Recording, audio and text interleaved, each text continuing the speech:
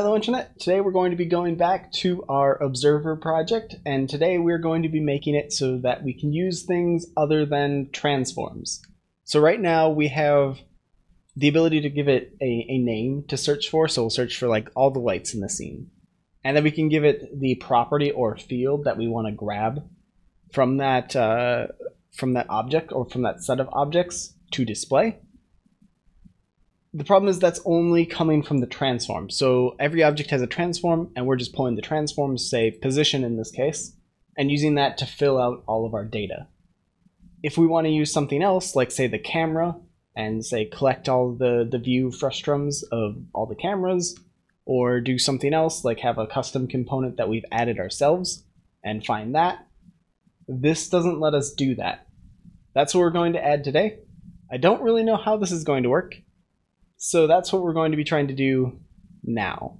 Uh, so the general idea is we're going to add a third text box. Those text boxes, by the way, aren't going to stay there. That's not the final design.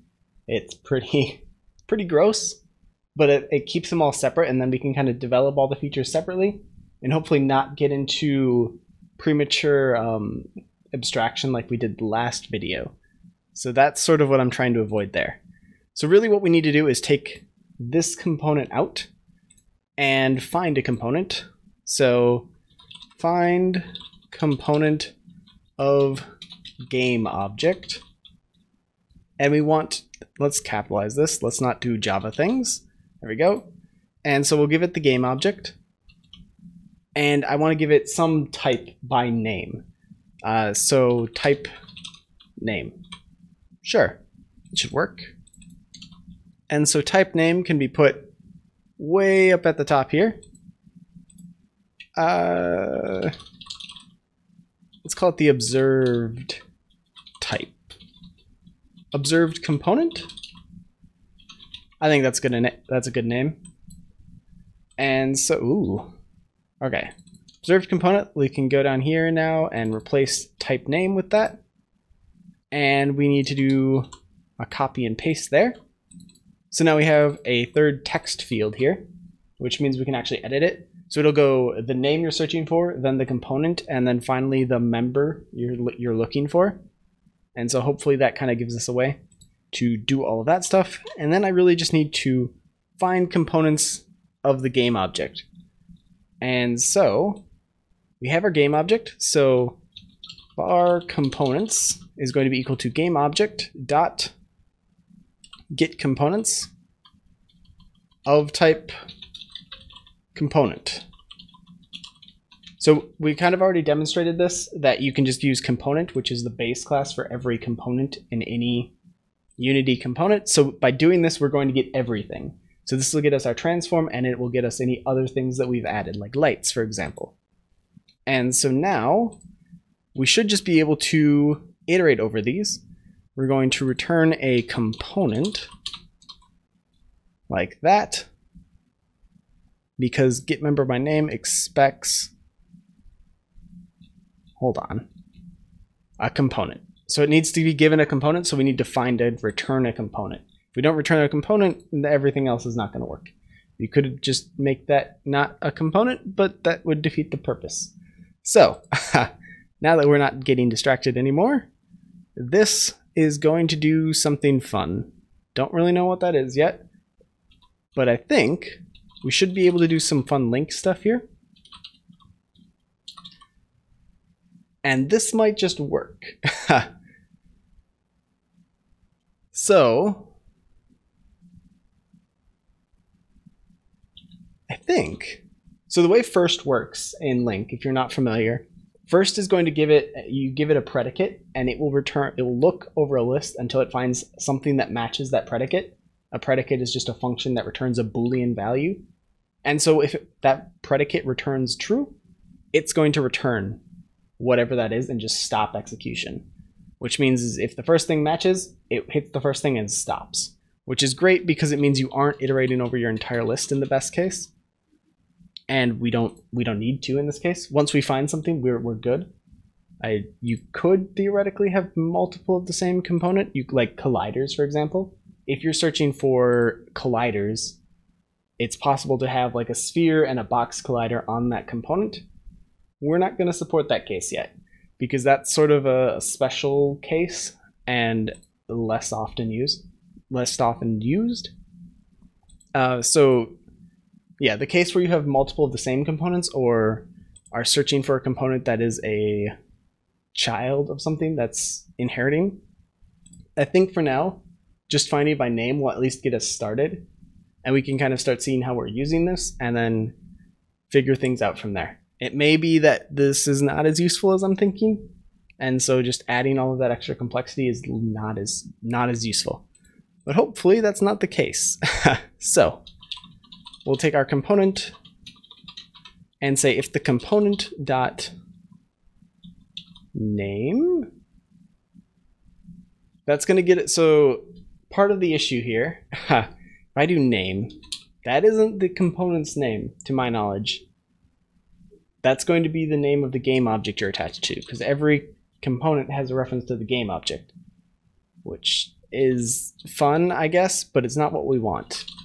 So we want to get the type and get the name. Don't know how to do that though, so we're gonna guess. that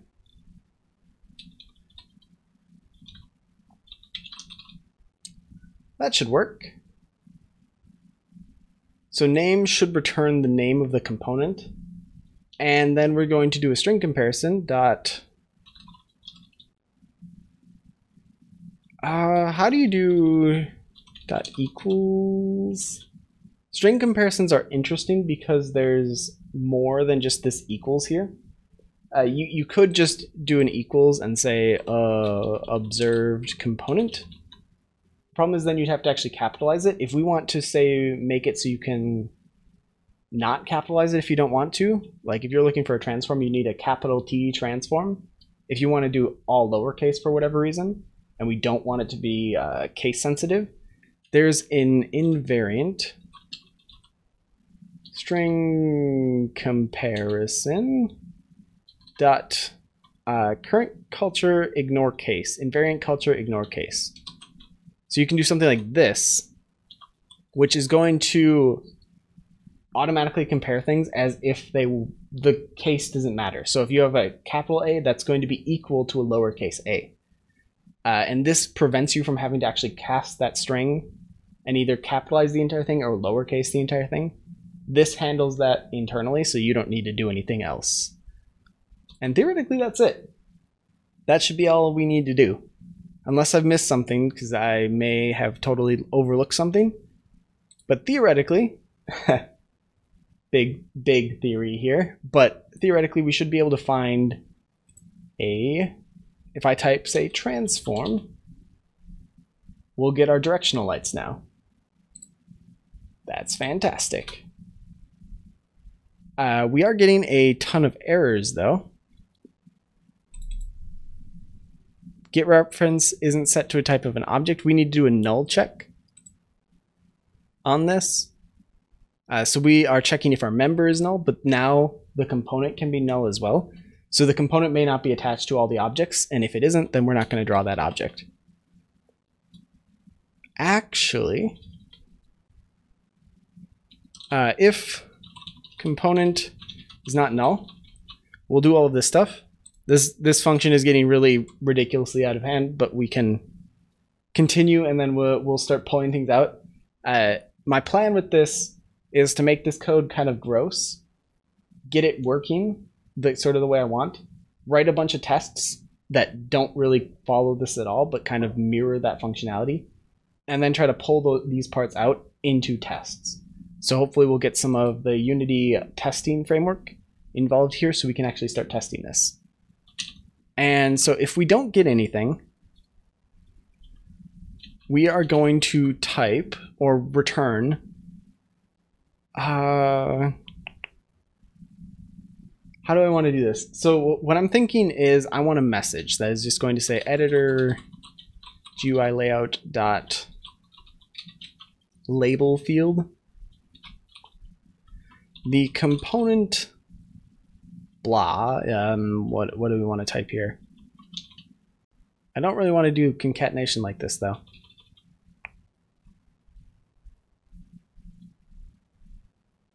yeah, we're going to. So I could switch up to the uh, Unity 4.6 C sharp version. The problem with doing that is it, then you couldn't use this package in a version of Unity that didn't support that, which isn't really ideal. It would mean you wouldn't be able to use the legacy C sharp additions in Unity if I used uh, the string interpolation stuff. So we're not going to do that. Instead, we're just going to add the strings. We could do this, I guess.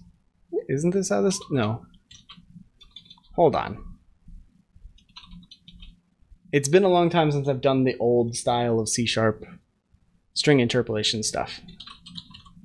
But I'm pretty sure works like this.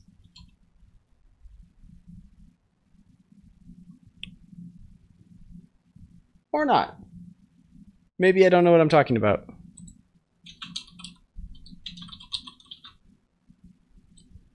Or maybe I do, and you just have to do it this way. so, we have our component there. The component, uh, what is it? Observed component. There. Can't be found. Uh, so if it can't be found, we're going to stick some quotes in here. Can't be found. Please.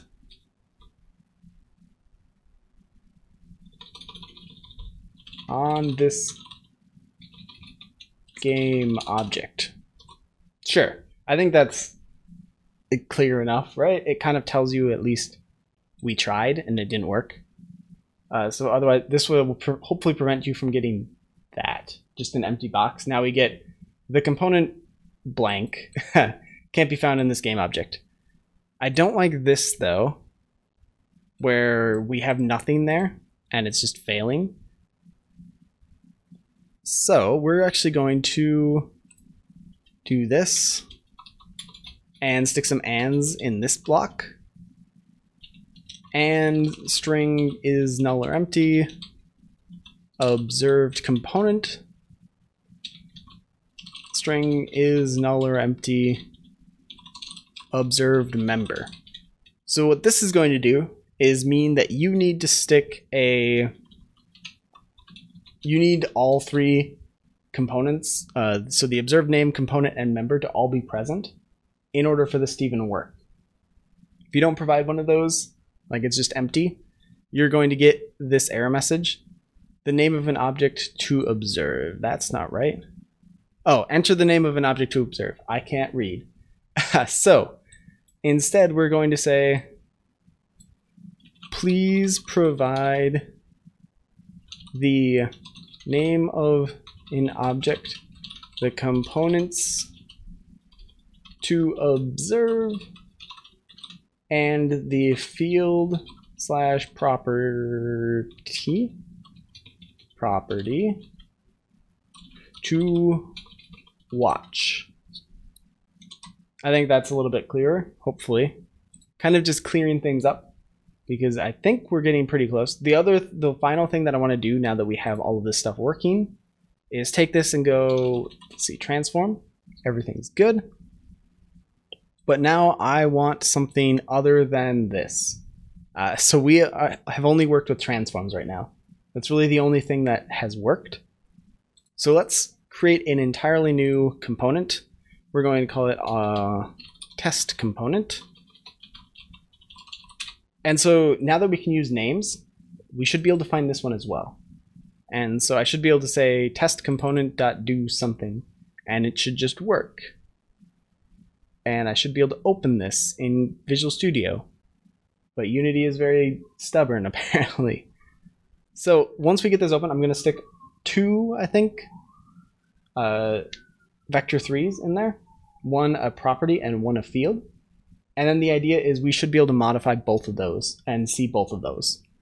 And then the final step to do after this, well, there's a whole bunch of steps. Uh, one, we need to clear up these three text boxes I think we're going to start by doing a regular expression to kind of join all three of these and then pull each of them out. So we'll need a really quick syntax to kind of put all of them in one and then parse it with a regular expression and figure out which component or which part of this maps to each part of that expression. And then we need to support other things other than vector threes.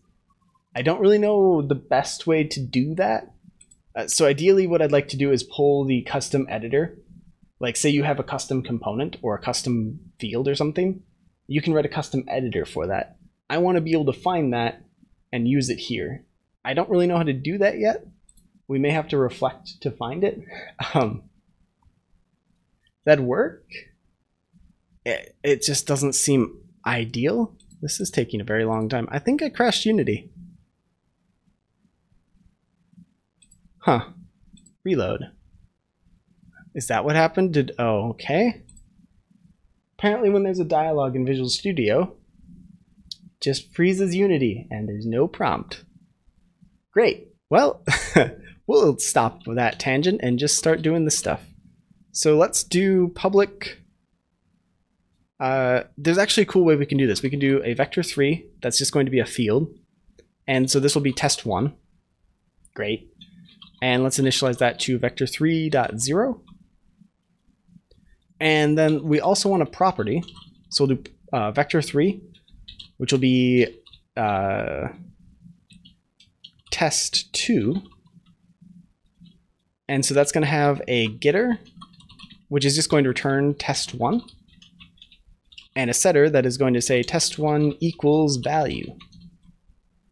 So the reason I'm doing this is theoretically we should be able to inspect this component, look up test one, set it to some value, switch over to test two and see that value is still there, and then set it in test two and switch back to test one and it should be there as well, which means that these are actually reflecting correctly.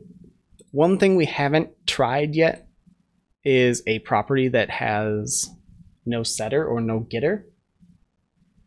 If that's the case, this may not work very well. But I'm not really I haven't really thought that far, so I don't know the best solution. Anyway, let's throw this on our lights. I'm just going to put it on all of them because I think that makes the most sense. There's some edge cases here of not under or not having it on all of the things that you found. We can actually test that, and I'm not going to fix it if it goes wrong, but we can at least look into what's going on. So we want to go into test component. We don't need to capitalize it. It found the component because those messages disappeared. And so I should be able to go to test one. There we go. It's all zeros. And so I should be able to increase this to like some large number and then do test two. And it's still 30, which means that that's all working. And then I can decrease this back to like negative 30 something and do test one. And we still have negative 30 something. That's great. Let's take this component off of our directional light 1. And now we get one message that says the test component can't be found in this game object, and then two that actually found it, which sort of works. It's not the best way to handle this, obviously, but it's better than nothing. So I think we can we can leave that for now. There's obviously going to be a lot of things that aren't fully fleshed out yet. We've only spent like two hours on this project total, so I'm I'm pretty happy with the how far we've gotten. Uh, I think this is as far as I want to go here, though. Uh, we can do all the regular expression stuff later, though. So, yeah. You guys have suggestions on how we could improve this or other things that you would like to see this be able to do, let me know in the comments. Uh, yeah, I think that's it. So, until next time, see you, Internet.